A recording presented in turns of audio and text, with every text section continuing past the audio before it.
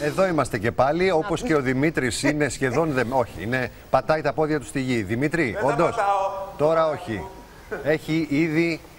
Ήπτατε. Λοιπόν, Η αλήθεια είναι ότι δεν μπορώ να κάνω πολλά γιατί έχω τα μικρόφωνα. ε, ναι, αλλά αλλά θέλω θέλ- να σου πω ότι βρίσκομαι μεταξύ γης και αέρα. Είμαι ανάμεσα από αυτά τα δύο. βεβαίως. Κυρία Σολδάτου, γεια σας, τι κάνετε; Γεια σας, τι κάνετε; Είμαστε Καλώς καλά. ορίσατε. Καλώς σας βρήκα. Καλώς σας βρήκαμε. Ε, πείτε μας αυτό που κάνετε, που διδάσκετε, το aerial dance όπως το ονομάζετε, είναι στα δικά μας μάτια μια εναλλακτική γυμναστική. Το θέμα είναι για ποιους είναι, είναι για όλους ή περίπου για όλους; Ε, θεωρώ ότι είναι για όλους που έχουν επιμονή και υπομονή να τα καταφέρουν. Τίποτα δεν είναι αδύνατο, φτάνει να το θέλουμε. Πόσο γυμνασμένος πρέπει να είναι κάποιος για να το κάνει; Σαν το Δημήτρη ή και λίγο πιο κάτω; Κοιτάξτε, σαν το Δημήτρη είναι πολύ βολικό και εύκολο, αλλά ό- σε όποια φυσική κατάσταση και να είσαι, εννοείται ότι μπορείς να τα καταφέρεις. Γιατί ανεβαίνεις σταδιακά και σιγά σιγά προχωράς. Ωραία. Λοιπόν, ε, ο Δημήτρης, ε, αν υποθέσουμε πως έρχεται για πρώτη φορά, τον βλέπετε ότι είναι αξία, έχει κάνει τη γυμναστική του. Ε, ποιο θα είναι το εντάξει. πρώτο μάθημα, δηλαδή τι θα του πείτε να κάνει; Ε, θα αρχίσω σιγά σιγά να τον βοηθά να αποδεσμεύεται Α, από το έδαφος Ναι. ε, με ασκήσεις τις οποίες συνέχεια θα μπορεί να έχει επαφή με το έδαφος και να μην ανεβαίνει πολύ ψηλά. Δηλαδή θα είναι ασκήσεις με δεσίματα χεριών σε χαμηλό ύψος και δεσίματα ποδιών πάλι σε χαμηλό ύψος. Μάλιστα. Ε, δένεται μόνος του ε, ο αθλητής, ας πούμε, ε, ή κάποιος τον βοηθάει συνέχεια; Είσαστε γίνεται, μαζί του. Όλα καλά Θοδωρή, εκεί. Έλα, ναι. Συγκεκριμένα χρειάζεται κάποιο να με δέσει.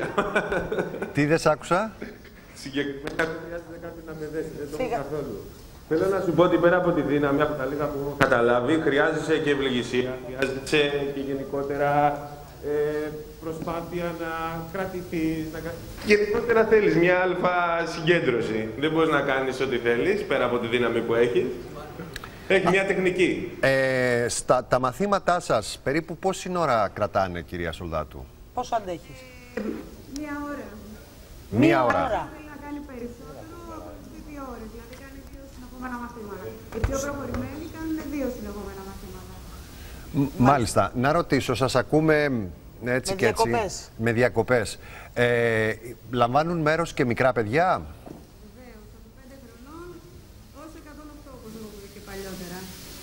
Κανένας περιορισμός. Σας χάσαμε. Σας χάσαμε λίγο από, τη... από τον ήχο. Μ, Δεν σας ακούμε. Ακούμε περισσότερο βόμβο και λιγότερο φωνή. Ναι. Πάντως είναι κάτι, Θοδωρή, πρέπει να το κάνεις με τους ειδικούς. Γιατί επειδή μπορεί Ε, καλά, καλά, κάποιον ναι. να φαίνεται Αρέσει. εύκολο, μην πάει κανένας και κρεμάσει σκοινιά, κουρτίνες, πετσέτες και αρχίσει να κρέμεται. Τι λέτε; Κοίταξε. Του ρώτησα την Κατερίνα αν έρχεται στο σπίτι να ξαραχνιάζει τα ταβάνια. Ναι, ναι. Για να φύγει το ταβάνι να μας έρθει από πάνω κάτω.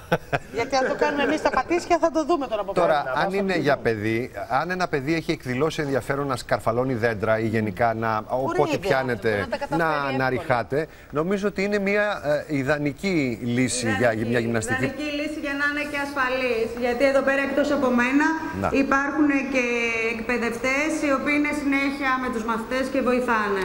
Κανείς δεν είναι μόνος του. Μια Κατερίνα, τελευταία- πόσο ασφαλές είναι αυτό εδώ πέρα; Ε, Ναι, αυτό, αυτό είναι πρέπει σούπερ να- ασφαλές γιατί έχει τα στρώματα από κάτω, έχει δικούς μηχανισμούς ασφαλείας. Σε οποιαδήποτε περίπτωση γίνει κάτι, ε, ξεκλειδώνεται η ασφάλεια και κατεβάζουμε τον αθλητή κάτω. Ο, ε, Και πόσο χρόνο περίπου χρειάζεται για να μάθει κάποιος κάτι και γενικά να ξεκινήσει το Ανέβη. aerial dancing.